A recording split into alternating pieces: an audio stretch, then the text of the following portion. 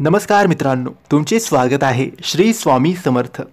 मित्रांनो पंचवीस जुलै शनिवारी श्रावण महिन्याचा पहिला सण नागपंचमी आहे. आणि घरातल्या घरात नागपंचमीची पूजा कशी करावी? याबद्दल आम्ही आजच्या व्हिडिओमध्ये तुम्हाला माहिती सांगणार आहे.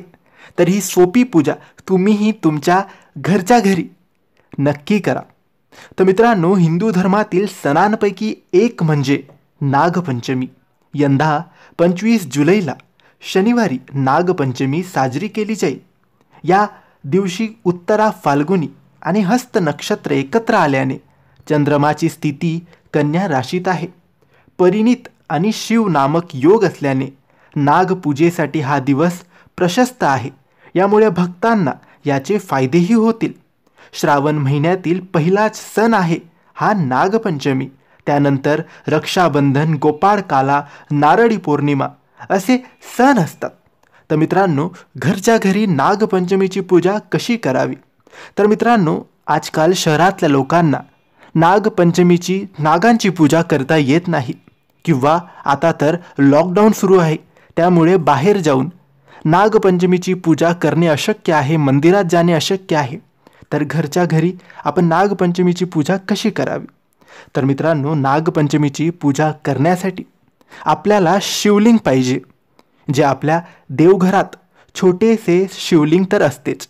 तर तुम्ही एक ताट घ्या किंवा एखादी तामण घ्या. त्या ताटात तामणामध्ये तुम्ही आपल्या घरातील शिवलिंग ठेवा आणि त्याचे एक वाटीभर दुधाने अभिषेक करा.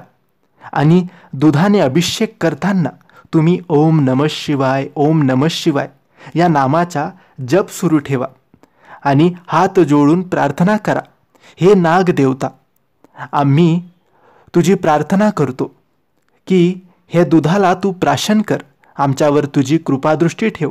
आमच्यावर जेही दोष आहेत ते संपवून त्या दोषांना तू दूर कर. हे महादेवा आमच्यावर तुझी कृपा कर. बस एवढी तुम्हाला प्रार्थना करायची आहे. आणि त्यानंतर त्या शिवलिंगाला तुम्ही स्वच्छ पाण्याने पुन्हा धुवून त्याची पूजा करून तुम्हाला ते शिवलिंग पुन्हा तुमच्या देवघरात स्थापन करायचे आहे. एक गोष्ट लक्षात ठेवा. नागांचे देवसुद्धा महादेव असतात आणि महादेव हे सर्प आपल्या गळ्यात धारण करतात. म्हणून नागांची पूजा आपल्याला जेव्हा जमत नाही नागपंचमीची पूजा आपल्याला जेव्हा जमत नाही तेव्हा आपण घरातल्या शिवलिंगची पूजा करायला पाहिजे. तर तुम्ही अशा सोप्या रीतीने दुधाने शिवलिंगाची पूजा नागपंचमीच्या दिवशी नक्की करा. तर मित्रांनो ही माहिती तुम्हाला आवडली असेल तर लाईक आणि शेअर करा. काही प्रश्न असतील तर कमेंट्सद्वारे विचारा. आणि आमच्या चॅनलला सबस्क्राईब करायला विसरू नका. धन्यवाद.